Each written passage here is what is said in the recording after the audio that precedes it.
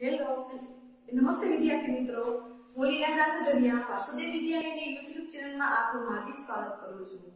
આજે આપણે ચેપ્ટર 3 માં પ્રતિનિધિ મૂલ્ય શોધવાની જે ત્રીજી રીત છે, આપણે આગળના લેક્ચરમાં સરાસરી કઈ રીતે શોધાય છે, આપણને જે પ્રમાણિતી આપેલી હોય, એના ઉપરથી આપણે સરાસરી શોધવાની હોય, અથવા તો વિસ્તાર શોધવાનો હોય, એ આપણે શીખી ગયા છીએ. હવે આપણે બહુલક કે પ્રતિનિધિ મૂલ્ય નક્કી કરવા માટેની ત્રીજી રીત જે બહુલક છે એ બહુલક આપણે માહિતીમાંથી કઈ રીતે શોધાય અને બહુલક શોધવા માટે શું કરવાનું છે એ આપણે જોઈએ. સૌપ્રથમ બહુલક એટલે શું?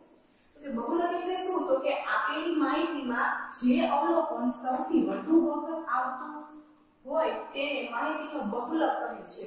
શું કે છે? આમાં આપણે કોઈ પણ સૂત્રની મદદથી કોઈ પણ ગણતરી કરવાની નથી. માત્ર આપણને જે કોઈ પણ માહિતી, આપણને જે આંકડાકીય માહિતી આપેલી છે, એ માહિતીમાં કઈ સંખ્યા કઈ, કયું અવલોકન સૌથી વધુ વાર આવે છે? એટલે કે સૌથી વધુ વખત ત્યાં રિપીટ થાય છે.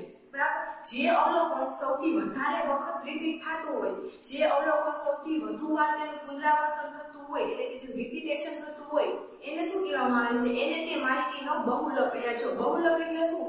નામમાં જ એનો અર્થ છે કે બહુલક, બહુ એટલે કે વધારે, જાજુ. કે જે અવલોકન માહિતીમાં સૌથી વધારે વાર જાજી વાર આવે છે, બહુ વાર આવે છે બરાબર? એને તે માહિતીનું શું કહેવાય છે? બહુલક કહેવાય છે. તો આપણે અહીંયા અહીંયા જે એક્ઝામ્પલ છે, એના દ્વારા સમજીએ એટલે આપણને વધારે સમજાય.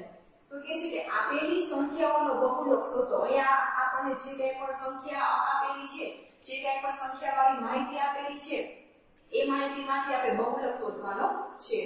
તો જો આ માહિતીમાં અમુક અવલોકન એવા છે કે જે એક થી બે વાર ત્રણ વાર ચાર વાર એવી રીતે ત્યાં રિપીટેશન થાય છે જો એક એક બે ચાર ત્રણ બે એક બે બે અને ચાર તો જો આમાં કુલ અવલોકન ક્યાં ક્યાં અવલોકન છે તો કે એક છે ત્યાર પછી બે છે ત્રણ છે અને ચાર છે આ ચાર અવલોકન આપેલા છે, પણ જો આ ચાર અવલોકન જે છે, એ એક થી વધુ વાર ત્યાં રિપીટ થાય છે.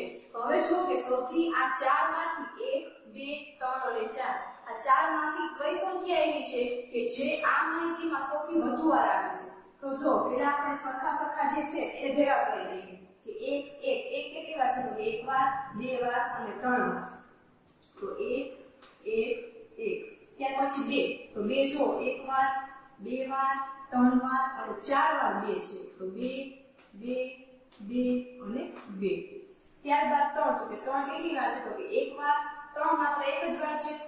બરાબર? અને ચાર ચાર કેટલી વાર છે? એક વાર અને બે વાર. તો ચાર અને ચાર. તો જો, હવે તમને ખબર પડી ગઈ હશે કે આ જે માહિતી છે, એમાં સૌથી વધુ વખત કયું? તો કે એક જે છે, ત્રણ વાર આવે છે, બે જે છે, એ ચાર વાર આવે છે. ત્રણ, એક વાર આવે છે અને ચાર, બે વાર આવે છે. તો જો બે જે છે એ આ માહિતીમાં તમને સૌથી વધારે વાર દેખાય છે. સૌથી તેનું ત્યાં કે વધારે વખત તે રિપીટ થાય છે. તો આપણી માહિતીનો બહુલો કોણ થશે? બે. તો કે બે જે છે એ આ માહિતીમાં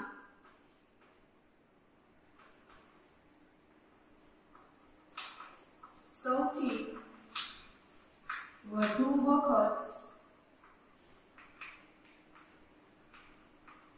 રિપીટ થાય છે.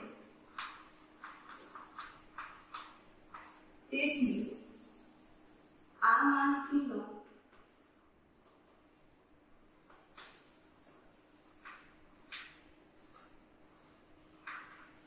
બહુલક બે થશે.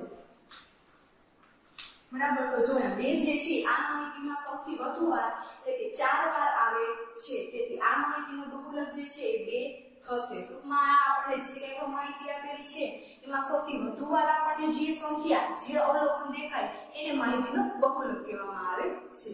તો આ રીતે અહીંયા કોઈ પણ માહિતીનો જે છે એ બહુલક શોધવાનું કીધું તેમાં આ રીતે આપણે માત્ર જોવાનું જ હોય છે કે માહિતીમાં સૌથી વધારે વખત કયું અવલોકન આવે છે. હવે આપણે આના પછીની જે પ્રતિનિધિ મૂલ્ય શોધવાની સૌથી છેલ્લી રીત છે મધ્યસ્થ.